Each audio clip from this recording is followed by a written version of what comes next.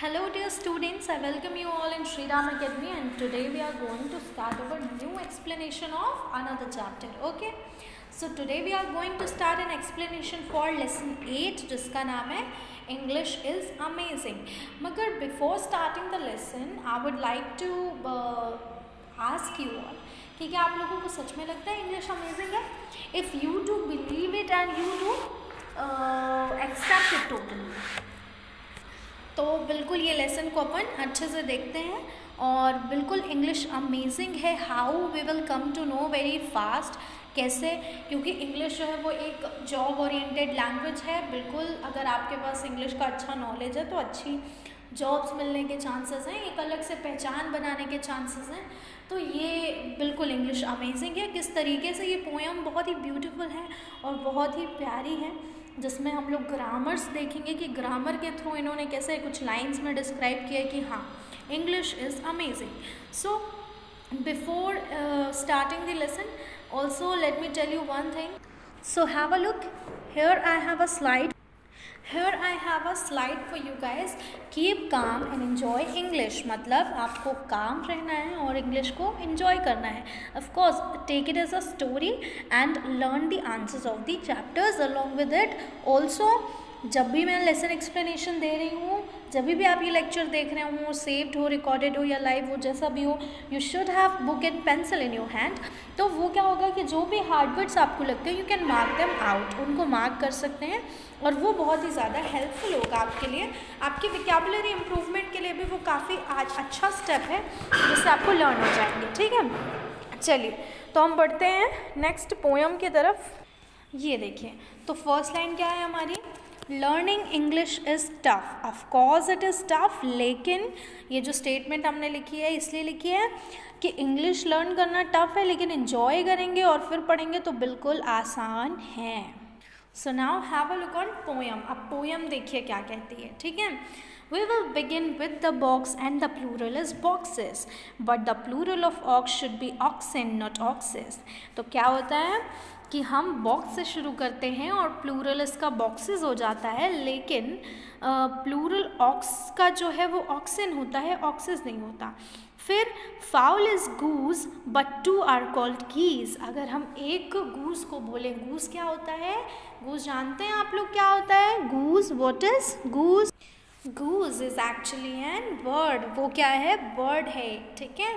तो गूज जो है वो अकेले गूज होता है, लेकिन उनका ग्रुप होगा, ज़्यादा होंगे तो गीज कहलाएगा। तो yet the plural of moose should never be meese लेकिन उसके बाद भी मूज का जो है वो मीज़ नहीं हो सकता, यानी गूज का गीज हो सकता है मूज का मीज़ नहीं हो सकता।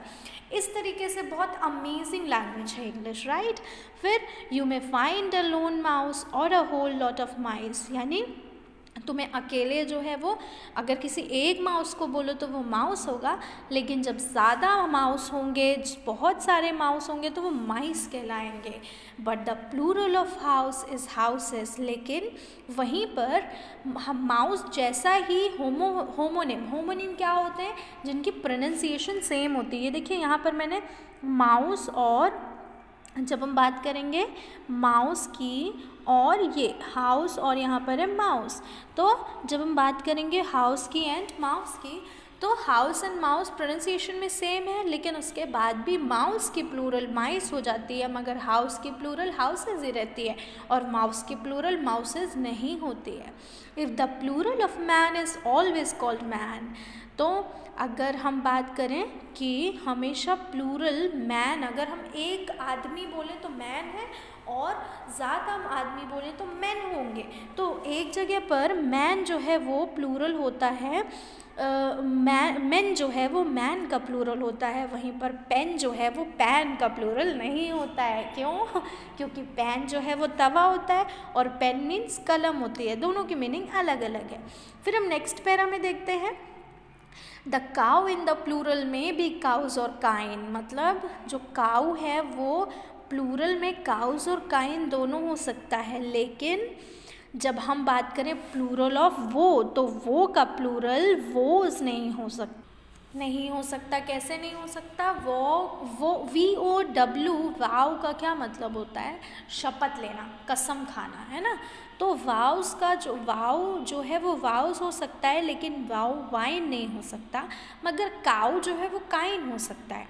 तो इसी तरीके से इंग्लिश बहुत ही अमेजिंग लैंग्वेज है, जहाँ पर काऊ काम, जब हम बात करें तो काऊ को हम काइन बोल सकते हैं, काउस को। लेकिन वाव को हम वाउज ही बोलेंगे और वाइन नहीं बोल सकते। We can not called out vine to vow in plural and I speak of a foot and you should show me your feet अब जब हम बात करें फुट तो फुट क्या है? जब मैं फीट फूट बोलूँ तो एक फुट को हम फीट बोल सकते हैं।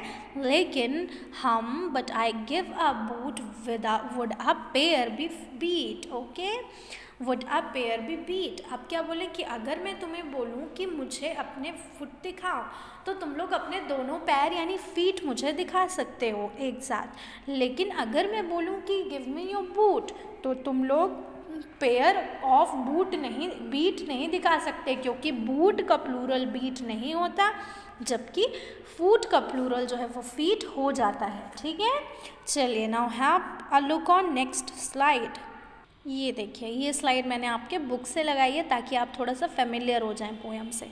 तो ये जो है लास्ट की the masculine pronouns are he his and him but imagine the feminine the feminine she she, shim नहीं हो सकती। मतलब मस्क्यूलाइन में जब हम बात करें तो मेल जेंडर्स के लिए हम प्रोनाउन यूज़ कर सकते हैं ही हिज और हिम मगर हम फैमे फीमेल्स के लिए शी शिज और शिम नहीं यूज़ करते। So our English I think you will all agree is the trickiest language you ever did see of course तो हमारी जो इंग्लिश लैंग्वेज है, वो कैसी लैंग्वेज है? बिल्कुल ट्रिकी लैंग्वेज है और बाकी लैंग्वेजेस से बहुत ज़्यादा ट्रिकी है, जिसमें हम बहुत फ़नी फ़नी से चेंजेस देख सकते हैं, जो हमें देखने को मिलते हैं। और at the end I would like to give you on homework क्या है वो होमवर्क देखिए। So now have a look on page number 75. In page number 75 you will see there is given let's read okay. So this is a passage solving. इसकी मैं PDF में answers provide नहीं भी करूँ तभी भी you have to read the passage line by line इसको read करिए उसके बाद इसके क्वेश्चन के आंसर्स आपको फाइंड आउट करने हैं ये होमवर्क है आपका इस लेसन का और इस होमवर्क को अपनी बिल्कुल कॉपी में करना है। Whenever you are going to attend the classes I'll check it तो बिल्कुल इसको करना है और ये देखिए, इससे आपका क्या होगा कि सेंटेंस इम्प्रूवमेंट दूसरी चीज़ रीडिंग स्किल्स बढ़ेगा और साथ में पैसेज सॉल्विंग की प्रैक्टिस होगी। तो आपको आगे टेंथ इलेवेंथ ट्वेल्थ में बिल्कुल परेशान नहीं होना पड़ेगा। Got it so hope that you guys enjoyed the session good luck students take care of yourself take care of your health also along with it बिल्कुल जब भी आप studies की बात करें तो कोविड नाइन्टीन इस पैंडमिक में हम क्या कर सकते हैं अपनी हेल्थ की केयर कर सकते हैं घर पे रह कर के लेकिन अपने स्टडीज़ को हम पीछे नहीं रखेंगे, क्योंकि वो एक साल है पूरा और एक साल में जितनी नॉलेज हमको मिल जाएगी बुक से, है ना? अगर हम वो नहीं पढ़ेंगे तो हमें अगले साल में बहुत प्रॉब्लम होगी, बिल्कुल होगी, क्योंकि बेस क्लियर नहीं होगा तो फिर हम आगे बोर्ड एग्ज़ाम्स में कैसे परफॉर्म कर पाएँगे right so I hope that you guys enjoyed the session wish you a very best luck now also uh, good luck students work harder and take care of yourself